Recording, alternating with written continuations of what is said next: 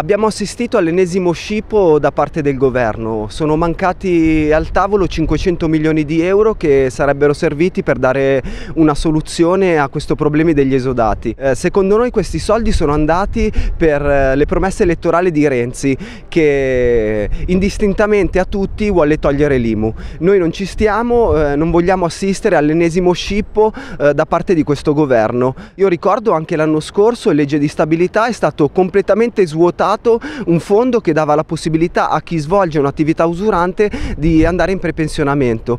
Un altro miliardo e mezzo aggiunti ai 500 milioni del fondo per l'opzione donna e a tutti gli altri fondi che il governo ha scippato ai pensionati e alle persone più deboli. Noi siamo stufi di vedere i pensionati che sono usati come bancomat dal governo e siamo stufi di vedere l'ipocrisia del Partito Democratico che all'interno della Commissione Lavoro lavoro ha un'idea. E, e, Damiano in primis vuole dare una risposta a questi esodati ma eh, non c'è niente da fare perché il governo non tiene conto delle considerazioni di un'intera commissione.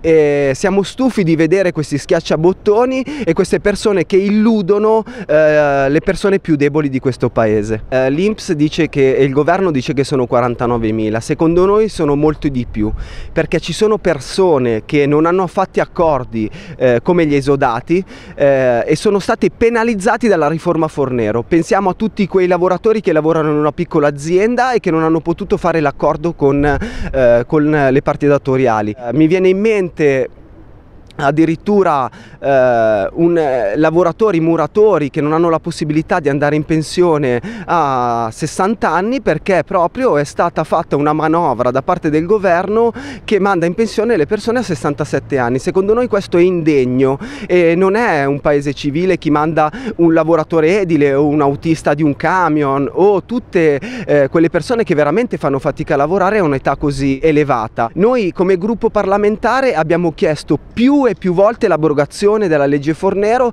che è una legge indegna votata da chi oggi la critica, quindi Partito Democratico e Forza Italia. Faremo la buona finanziaria come l'abbiamo sempre fatta e noi come Commissione Lavoro proporremo proprio l'abrogazione della riforma Fornero. Ricordiamo che proprio ieri abbiamo dato i nomi in Commissione Lavoro per eh, ehm, l'audizione che si svolgerà proprio sulla nostra proposta di legge eh, per dare la possibilità, ripeto, a chi svolge un'attività usurante e in particolare il mondo edile di andare in, in pensione un po' prima. La Lega però si dimentica che grazie al voto ehm, incisivo eh, che c'è stato in un ramo del Parlamento ha votato il pareggio di bilancio in Costituzione, oggi proprio per questo motivo non riusciamo a dare una risposta definitiva al problema degli esodati, quindi la Lega è complice eh, di questo sistema politico vergognoso che eh, usa i cittadini e le parti più deboli per fare campagna elettorale e basta. I soldi ci sono e ce ne sono parecchi e dobbiamo dare una risposta subito e immediata alle persone più deboli di questo paese. Paduan deve fare bene i calcoli, Paduan deve tornare un po' in mezzo alla gente, non so neanche se c'è mai stato, eh, per capire quali sono le sensazioni delle persone.